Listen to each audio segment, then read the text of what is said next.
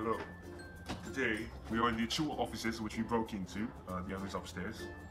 And today, we want to talk about copyleft and the controversial case of the Fine Brothers att- attempting to copyright the React video format and the word React. Now, copyleft is a noun. And the meaning is the right to freely use, modify, copy, and share software, work of arts, etc. on the condition that these rights be granted to all subsequent users or owners. So that means it's a reverse copyright. Instead of infringing your name in it, you give it freely to the public to be modified and to be used freely. That's what Fine Brothers don't see. They don't see that their work are actually public domain. It's not their idea.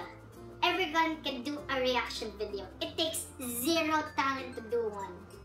My god, my god, my god, my god, I'm even doing it right now. Okay, I have a friend here who will help me clarify the situation of the Fine Bros. Seth, Hey guys, so I'm here to help clarify the Fine Bro situation. Basically, if the Fine Bro situation fell through, they would own 50% of your video, 60% of your revenue would go straight to them, and you would not be able to upload the video online without their permission whatsoever.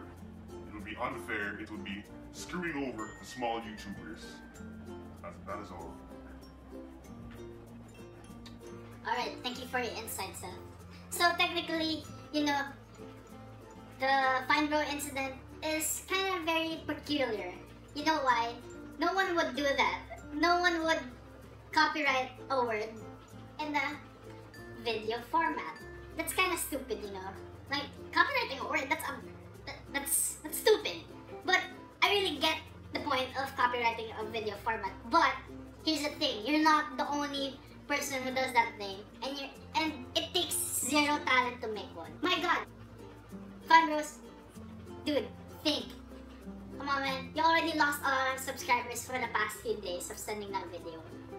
Why? My God, my God. Okay, we're up to the point where we have to end the video. But first, Seth, what are your opinions? It's racist! Alright? Uh, thank you for your useless opinion. But first, we're gonna ask the dog, Jay-Z. Okay, Jay-Z. What's your opinion about the video? It's racist! Alright. Good stuff, dude. Okay, you know, you're good to go, dude.